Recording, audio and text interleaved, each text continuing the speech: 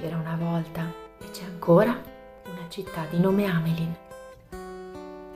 C'era una volta tanto tempo fa un pifferaio che suonava una musica magica e quella volta tutti i bambini incantati lo seguirono. Allora Amelin, la città del silenzio, scritto da Alice Balbe- Barberini e illustrato da Alice Barberini.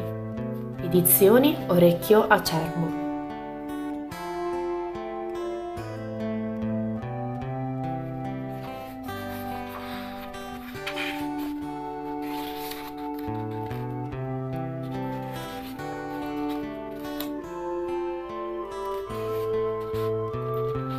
Mio nonno era il più anziano della città e abitava qui da sempre. Lo chiamavano lo zoppo.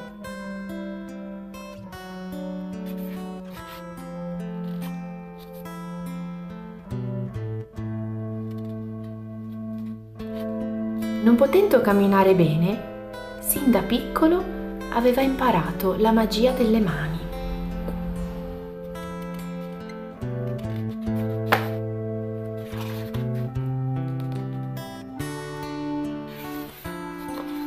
Costruiva orologi e giocattoli meccanici, così i bambini della città potevano divertirsi per conto loro.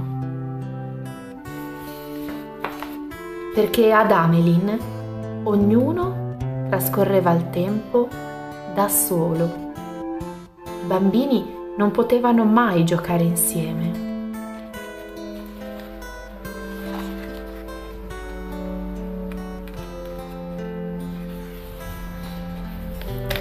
Al nonno chiedevo perché?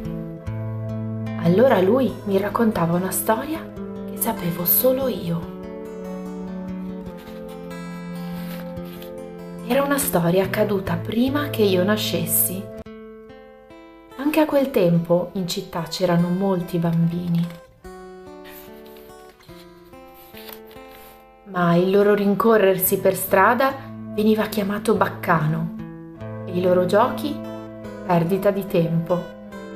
Così un giorno i grandi dissero, vietato.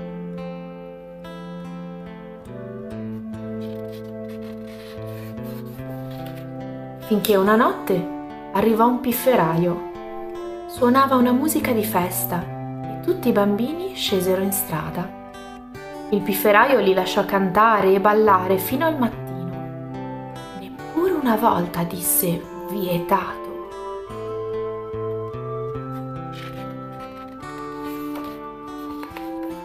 I bambini lo seguirono mano nella mano e non tornarono mai più. Da allora fu proibita anche la musica.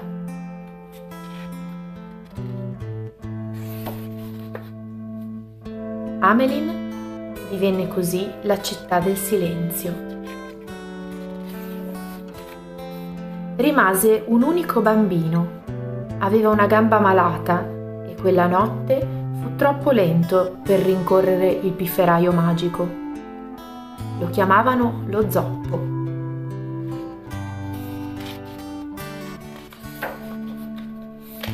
Così finiva la storia che mi raccontava sempre il nonno. La musica è vietata in tutta la città. Una sera dopo il racconto mi addormentai.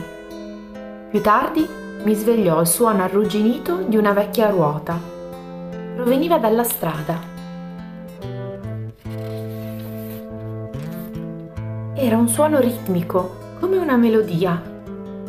Pensai al pifferaio. Mi rannicchiai sotto le coperte e aspettai. Fin quando non mi sembrò lontano.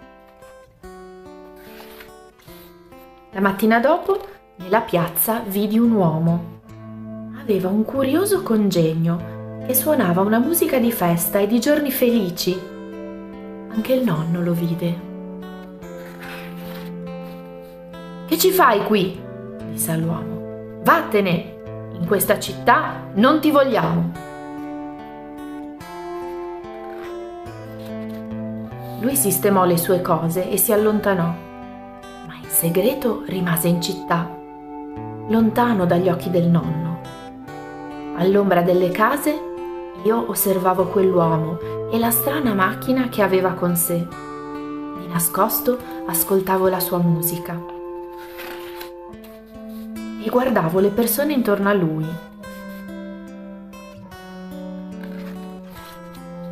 Qualcosa stava cambiando.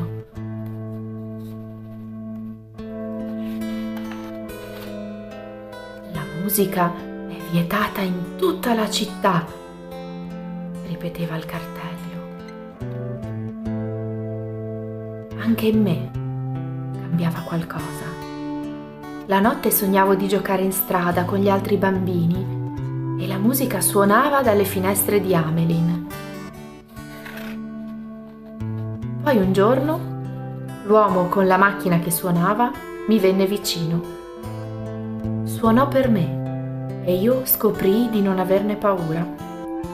La musica mi rendeva felice.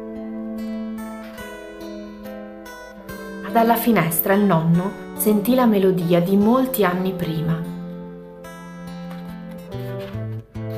Scese in strada e con il bastone fece a pezzi la macchina che suonava. Perché quella notte non mi hai portato con te? gridò. L'uomo rispose, per far giocare ancora i bambini che sarebbero nati in questa città.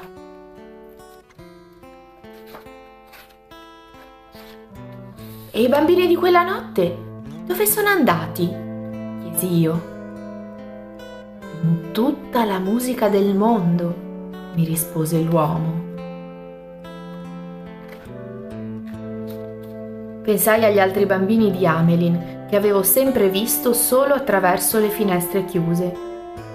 Così dissi, aggiustiamo la macchina. Il nonno disse, no,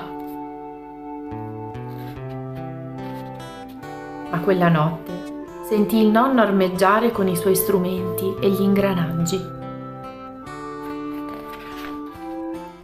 Poi mi addormentai, cullata dal suono di un flauto che si allontanava.